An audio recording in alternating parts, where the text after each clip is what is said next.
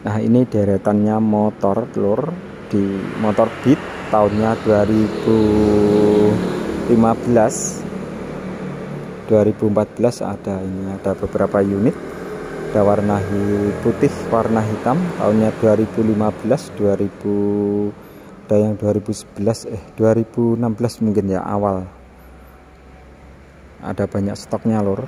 Tinggal menyesuaikan budgetnya yang diinginkan harga berapa dan pembelian bisa secara cash ataupun kredit. Bit tahun 2015 itu banyak lor yang yang mencari mengidolakan karena bandelnya lor ini kan ya keluaran keluaran ke generasi kedua ya kalau seperti ini. Generasi pertama kan itu karbu itu terus generasi kedua kan ini generasi ketiga mungkin ya itu monggo yang berminat ingin meminang motor bekas berkualitas baik motor manual motor metik ataupun motor sport ada di sini lur di showroom Doyok Motor Madiun ini. Harga bisa nego langsung dengan bosnya showroom Doyok Motor Madiun